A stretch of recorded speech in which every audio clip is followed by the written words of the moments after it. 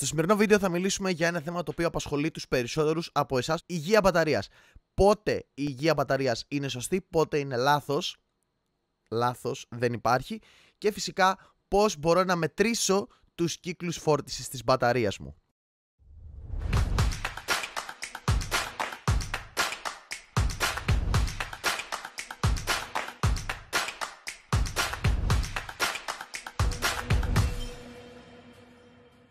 Καλησπέρα, καλησπέρα σε όλους. Καλώς ήρθατε σε ένα ακόμα βίντεο. Αν σας αρέσουν και τέτοια βίντεο, μην ξεχάσει να κάνει ένα like, να πατήσει το κουπί subscribe και το καμπανάκι για να μην χάσεις κανένα επόμενα βίντεο. Επίσης, Discord server αλλά και TikTok και Instagram για να μην χάνεις νέα και tips για iPhone αλλά και όχι μόνο. Και δεν ξεχνάς φυσικά dimgeo.gr για να μην χάνεις νέα για την εταιρεία που αγαπούμε και μισούμε φυσικά. Σήμερα σας έχω ένα πάρα, πάρα πολύ ωραίο θεματάκι για συζήτηση. Ένα θέμα το οποίο γενικότερα έχω κάνει αρκετά βίντεο βέβαια περί αυτού του θέματος και εδώ αλλά και στο TikTok αλλά είναι ένα θέμα το οποίο απασχολεί τους περισσότερους από εσάς. Υγεία μπαταρίας. Δεν θα μιλήσουμε όμως αυτό καθε αυτό για την υγεία μπαταρίας αλλά θα σας εξηγήσω το πιο βασικό πράγμα που οι περισσότεροι αν όχι όλοι κάνουμε λάθος. Ακούγεται λίγο σαν να σας μαλώνω αλλά δεν ισχύει γιατί και εγώ το κάνω λάθος. Ας πάρουμε τα πράγματα όμως από την αρχή. Τι σημαίνει υγεία μπαταρίας; Υγεία μπαταρίας σημαίνει ότι από την πρώτη μέρα που θα ανοίξω ή θα αγοράσω ένα κινητό τηλέφωνο, πόση διάρκεια ζωής έχει η μπαταρία. Όταν λέμε διάρκεια ζωής μπαταρίας, να διευκρινίσουμε τι εννοούμε, είναι ότι η μπαταρία μας μέχρι ως ένα βαθμό θα λειτουργεί το κινητό άρτια, αλλά από ένα σημείο και μετά η μπαταρία θα αρχίσει να υπολειτουργεί. Τι σημαίνει αυτό, Δεν σημαίνει ότι αυτό καθ' αυτό χαλάει το κινητό μας, αλλά θα αρχίσει το κινητό μας να μην αντιδρά φυσιολογικά. Δηλαδή η μπαταρία θα αποφορτίζεται πολύ πιο γρήγορα. Άρα το κινητό μας θα κρατάει λιγότερες ώρες μέσα στη μέρα. Τίποτε άλλο. Δεν χαλάει το τηλέφωνό μας, δεν καταστρέφεται το κινητό μας, τίποτε άλλο. Από τη στιγμή που πας και κάνεις μια αντικατάσταση της μπαταρίας, πολύ απλά το κινητό σου επανέρχεται στις κανονικές συνθήκες που ήταν πριν. Διευκρινίζω κάτι ακόμα. Είναι απολύτως φυσιολογικό να συμβαίνει είναι απολύτως λογικό καθώς η μπαταρία είναι ένα αναλώσιμο πράγμα. Πάρτε δηλαδή τα αυτοκίνητα.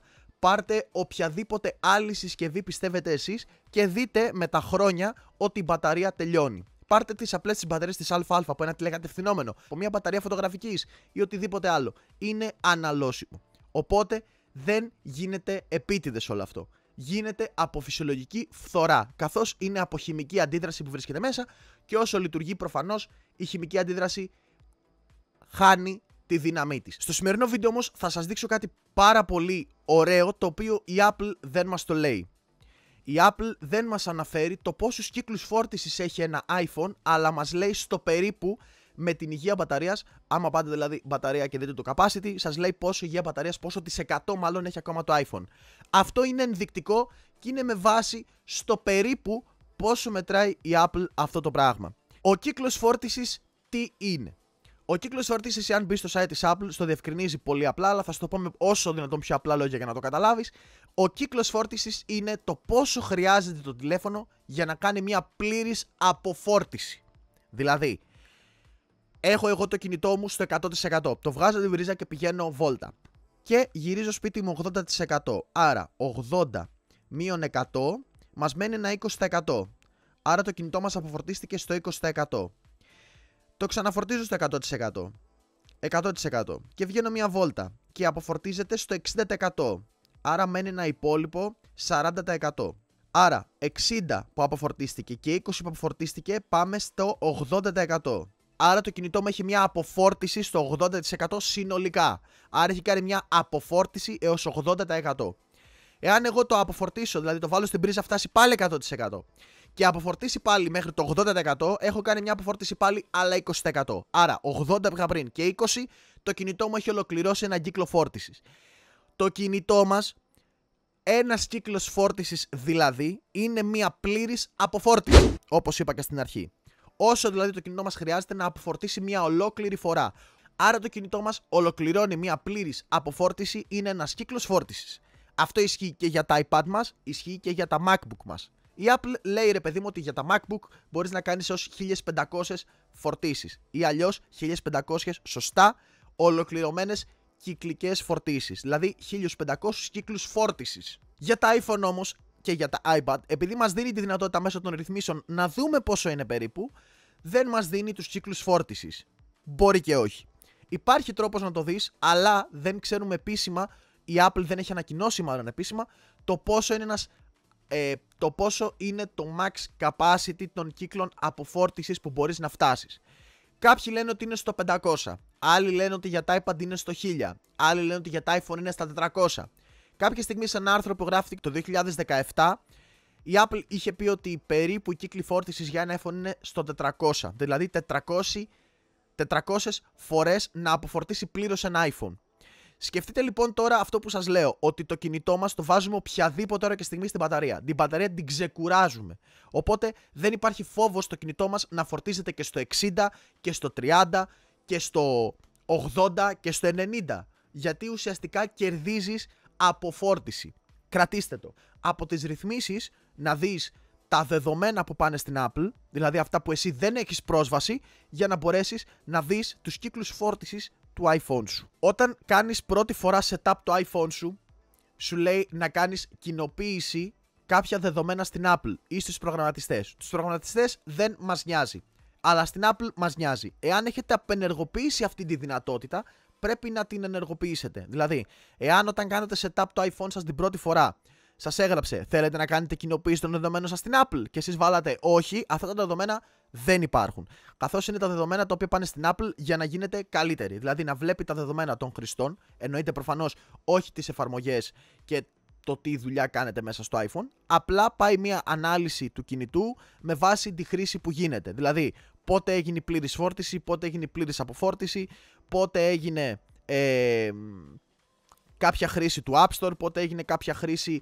ε, εφαρμογών της ε, Apple, πότε μπήκατε ρυθμίσεις, πότε βγήκατε. Είναι κάποια δεδομένα τα οποία η Apple χρειάζεται για να ουσιαστικά διαμορφώνει τα τηλέφωνα καλύτερα. Προφανώς δεν παίρνει άλλα δεδομένα, ούτε προσωπικά δεδομένα δικά σας. Οπότε πάρα πολύ βασικό πρέπει σίγουρα να έχετε ενεργοποιημένη αυτή τη δυνατότητα. Έτσι. Πολύ βασικό, αλλιώς ό,τι σας δείξω από εδώ και μετά, εσάς σας είναι άχρηστο. Συνεχίζοντας λοιπόν, πάμε ανάλυση και βελτιώσεις. Στην ανάλυση και βελτιώσεις τέρμα πάνω βλέπετε ότι λέει κοινοποίηση δεδομένων ανάλυσης iPhone. Οπότε αυτό πρέπει να το ενεργοποιήσετε. Και λέει, βοηθήστε την Apple να βελτιώσει τα προϊόντα της. Υπηρεσίες μέσω της αυτόματης ημερήσιας αποστολής δεδομένων διάγνωσης και χρήσης. Τα δεδομένα μπορεί να περιλαμβάνουν πληροφορίες τοποθεσίας ή ανάλυση χρησιμοποιεί δεδομένα ασύρματου δικτύου. Οπότε καταλαβαίνετε τώρα ότι αν αυτό είναι ενεργοποιημένο, τότε γίνεται άμεσα κοινοποίηση στην Apple τα δεδομένα του κινητού σας αυτό που λέει ότι τα δεδομένα μπορεί να χρησιμοποιούν και να περιλαμβάνουν πληροφορίες τοποθεσίας. Προφανώς όταν έχει ενεργοποιημένη την έβρεση του iPhone, έτσι κι αλλιώς πάει η τοποθεσία. Και καλό είναι να το έχετε ενεργοποιημένο για την έβρεση του iPhone. Οπότε, αν γίνει μια, ε, ένα τυχαίο συμβάν, να ξέρετε που βρίσκεται το κινητό σας. Επίσης, πάρα πολύ βασικό.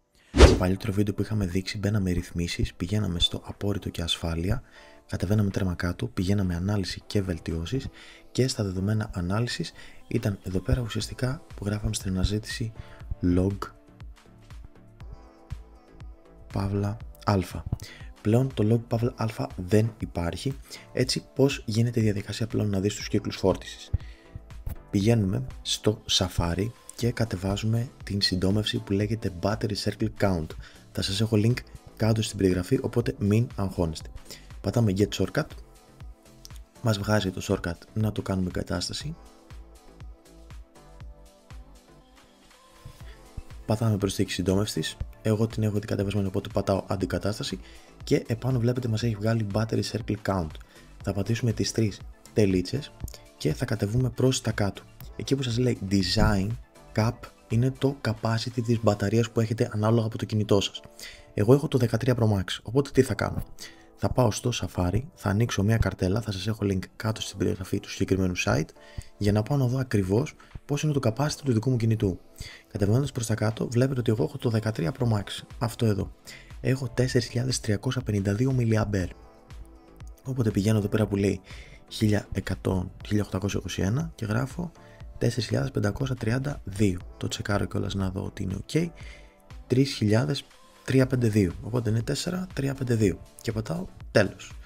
Από εδώ είμαστε ok. Οπότε γυρίζουμε πίσω στις ρυθμίσεις και κατεβαίνουμε εκεί πέρα που λέει ανάλυση 2023 8 πρώτου. Οπότε πατάμε ανάλυση και βλέπετε ότι εδώ πέρα είναι ο κώδικας ο καινούριος που ουσιαστικά στέλνει στην Apple το κινητό μας.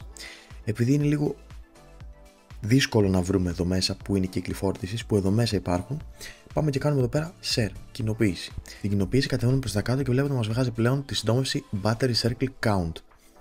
Το πατάμε και περιμένουμε λίγα λεπτά να τρέξει ουσιαστικά το shortcut. Μόλις τρέξεις το shortcut και ουσιαστικά βρει τους κύκλους φόρτισης Πολύ προσοχή γιατί την πάτησα, δεν πρέπει να έχετε το κινητό σε λειτουργία χαμηλή ισχύω καθώς δεν θα δουλέψει. Πατάμε λοιπόν κοινοποίηση, πηγαίνουμε τέρμα κάτω, βλέπουμε εκεί που λέει Battery Circle Count, το πατάμε και περιμένουμε να φορτώσει.